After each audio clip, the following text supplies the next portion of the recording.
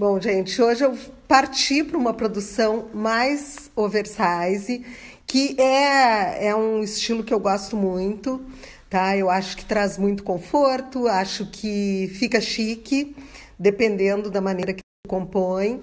E eu estou com esse casaco incrível da Vitória Cândido, todo intuíde, uma inspiração Chanel, e por isso eu me enchi de broches, porque eu adoro os broches assim agrupados. Eu acho que muita atitude, acho que confere muito estilo. E esse casaco é incrível, não é? Eu sei que a Vitória tem ele também em preto.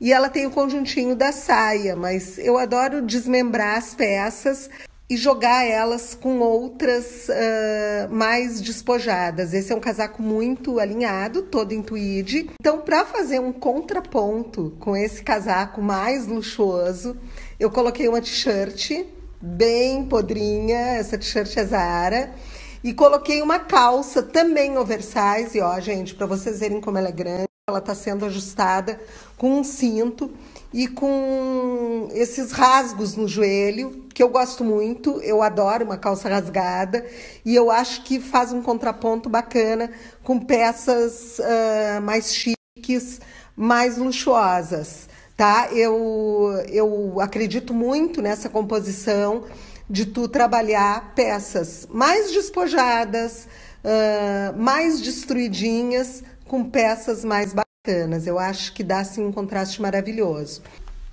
Eu vou com uma bolsa branca bem estruturadinha, tá? Que eu adoro usar branco no inverno, adoro. Então eu espero vocês comigo hoje nas gravações e a gente vai mostrando tudo por aqui. Cabelo é da Dani Villes. Olhem o brilho que tá o meu cabelo. A Dani faz um trabalho incrível e está atendendo a domicílio. Claro que eu não poderia finalizar sem mostrar para vocês a minha máscara de hoje, que também compõe o look. Afinal, hoje a máscara é um acessório que ajuda a compor o look.